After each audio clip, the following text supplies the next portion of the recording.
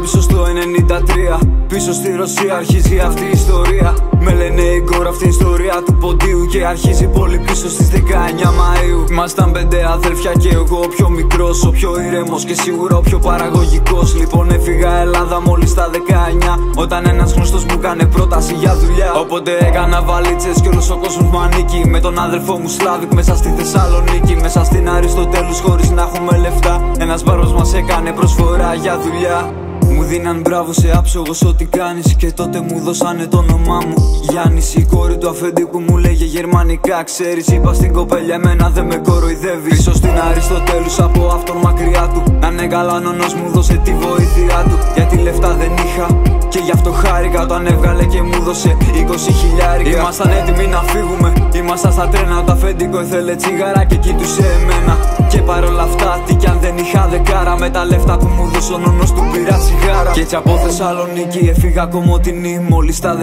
19 κυνηγούσα πια τη ζωή. Ήταν πλέον γνωστό η Καρόλα μπορεί να τα κάνει. Γι' αυτό κάτι συγγενείς με στείλαν για τσομπάνι. Και έτσι πήγα για να βγάλω ψωμί. Όρεξη για δουλειά μα μακρινή διαδρομή. Ο τσομπάνος μου είχε πει για σένα θα είμαι εκεί Μου έδωσε μια στέγη και ένα πιάτο φαΐ μια μέρα που ήθελα να ξυριστώ. Απ' τον καζάκι πήρα φωτιά πήγα να καώ. Κάει κι όλο μου το χέρι για να βγω. Έκανα κόλπα γιατί έπεσε το τραπέζι μπροστά από την πόρτα. Μαΐο του 94 μας κορόιδεψαν στη δουλειά. 15 μέρες χωρίς να μας δίνουνε λεφτά.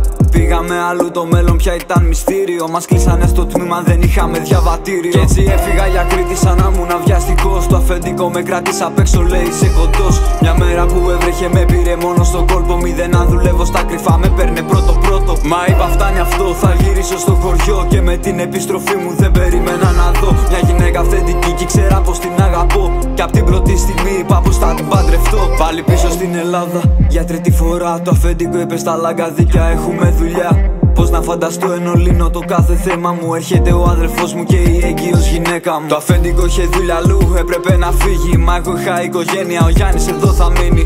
Και σε ένα χωριό Κοντά στην πόλη γεννηθήκε ο πρώτος μου γιος και τον είπα μέχρι χώρη Μα δεν θα ξεχάσω ποτέ εκείνη τη στιγμή. Όλοι μαζί μες στο σπίτι γυναίκα περίμενε παιδί.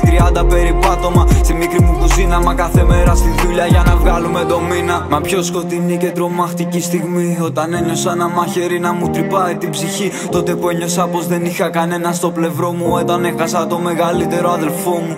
Μ' αυτό δεν με έριξε, δεν φάνηκε το δάκρυ μου. Έχω μια ολική οικογένεια να βασίζεται στην πλάτη μου. Πατέρα, μητέρα, γυναίκα και παιδί. Είπα δεν με ρίχνει τίποτα, ζωή θα με βρει νικητή. Το 2005 εποχή που νοσταλγώ. Όταν άρχισαν να στρώνουν τα πράγματα να ερεμώ.